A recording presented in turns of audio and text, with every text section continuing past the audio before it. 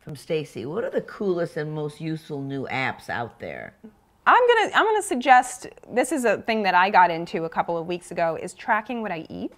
Oh, great. Yeah, and and this is called MyFitnessPal, and I really got into this after the new year. I said I was going to eat healthier this year.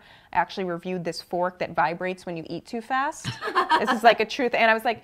I don't think I need to carry around this this ridiculous fork, but I do want to eat better. And so what I started doing was logging my food. And so with this MyFitnessPal, you can actually just put in a couple of words. It finds the information. Like if I say restaurant that you like. Orsos. Okay, if I say that and I can type that in, Right. and they will, for many of them, they'll actually have preloaded information about the calorie count there. Oh. So it's easy to So you write things. in the restaurant and you write what you had. Yes, see. exactly. And Uh-huh. it will say, okay, that's 200 calories. You add that for lunch. You have X amount of calories to, you know, to Yeah. hit your goal today. Right, right. So uh, that's a And that's, that's a useful what? app. MyFitnessPal. That's great. Yeah, that's a good one.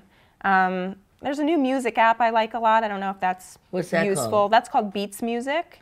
And what do you get from that? With this, it's a really good way to discover new music. Oh, I really nice. like this. This is like this is a fun way. It's kind of like Mad Libs, and you can say I'm, let's say I'm in the car, and I feel like saving the world with my mom.